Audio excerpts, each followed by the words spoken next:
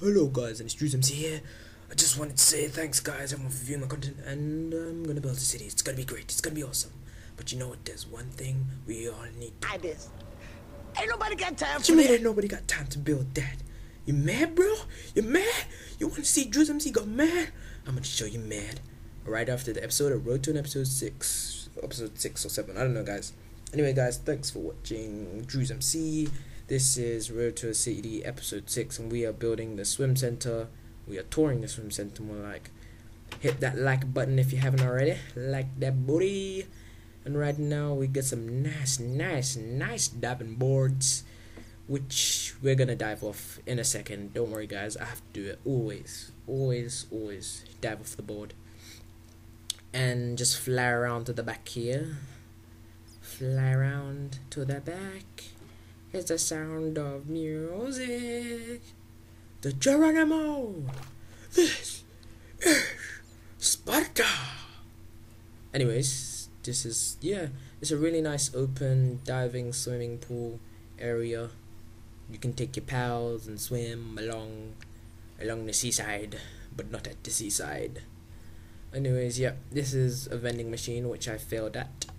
But yeah, so right in here we have the changing room, as you would have in another changing room. I was supposed to put boys and girls, but and uh, this that's supposed to be a little snack bar, but I told you I haven't got a lot of time, so I'll just make the finishing touches probably after this video, and then probably go to sleep. Probably uploading this like early in the morning, so you guys just know to like and favorite it, and subscribe me. Make that make that extra subscriber be you and get all cozy in the shower. Get cozy. And yeah, so here's just like the nice lounge after you've swum. Is that even a word? Swum? I don't know. Anyways, you just chillax here with your mates. I can't even swim. That's a bad problem. And yeah, I'm creating a swimming center. It's not good, is it?